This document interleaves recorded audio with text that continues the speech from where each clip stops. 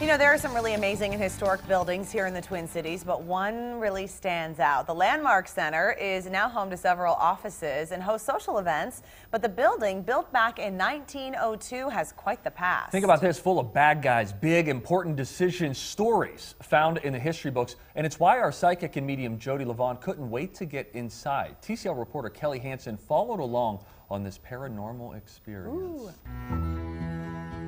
It's a beautiful piece of history that sits in the heart of downtown St. Paul, but Landmark Center, known for its large stone, beautiful arches and pillars, was once home to the federal courts. So this meant that St. Paul was on the map. The fact that they had this beautiful fortress-like structure, very imposing, very beautiful. Judy Brooks, Director of Community Programs, has worked for Landmark Center for nearly 30 years. She told us of the building's storied history. This building, one of its uh, most noted history stories, is that this is where many of the famous gangsters were tried um, or sentenced, and many bootleggers sentenced in this building. A lot of people love this building and spent time here, and so there's just a lot of energy in general, and people can leave their energy behind. This floor was not the floor you wanted to be so on, and you will understand as we walk around. Okay. We began our tour on the third floor, where dangerous criminals once sat in front of a judge. As we head down this corridor, there's a room on your left here that is absolutely where you didn't want to be if you committed a crime. It is the detention room of the U.S. Marshal. When Creepy Karpis was held in here, he was handcuffed to the radiator. They were terrified he was going to try to escape. He was loath to be imprisoned. He was crazy.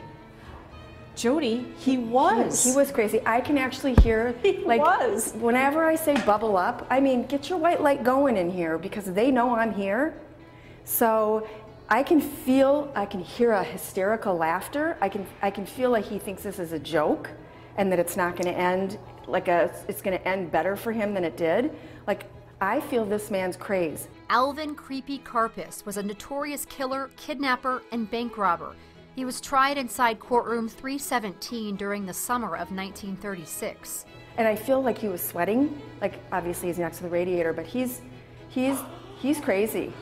When Creepy was held here, outside was the largest, most horrible heat wave St. Paul had experienced and has experienced to date.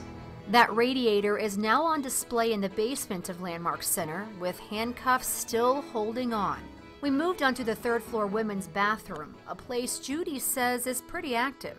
A sole person will be in the bathroom, the women's room, in a stall locked and they've reported that someone has come in and walked in front of this stall and crinkled up paper like you know um, a hand towel and maybe a faint smell of perfume but there are no feet walking past anywhere. And the door closes and there's nobody on the floor. And, and the smell of the perfume i can feel it. Like there's a woman that's very dainty. Remember the barbie dolls with the little shoes and the little legs? I can actually see this and I can feel like this little outfit that kind of had flow to it. Evelyn Billie Frechette was tried in the courtroom directly across the hall. John Dillinger's girlfriend, now I don't know if she was actually in here, but Evelyn Frechette, was, her name, nickname was Billie. Evelyn was beautiful. That's, I'm just got like chills. Evelyn, Billie was beautiful. Judy Brooks says it's this kind of history that makes her love working inside this historic building even though she believes something or someone is always nearby. I personally am very grateful when I'm here late at night and I am the only one on my fourth floor and I go to the elevator and it is open with my floor pressed.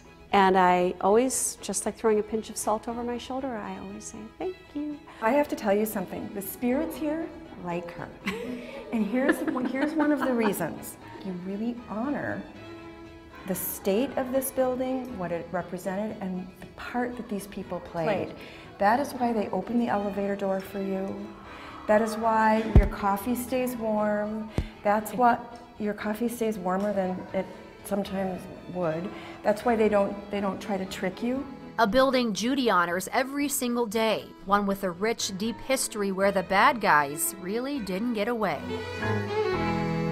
Oh boy, if you're gonna have a lot of spirits around, they might as well like you. They better charm ya. Hey, Jodi is holding an event next week, and she would love to see you there. Instant Instincts is November 5th at 7 o'clock at the Minnetonka Community Education Center. We've got the details and ticket info at twincitieslive.com. Ladies, Oh boy. if you own one of these, You don't even know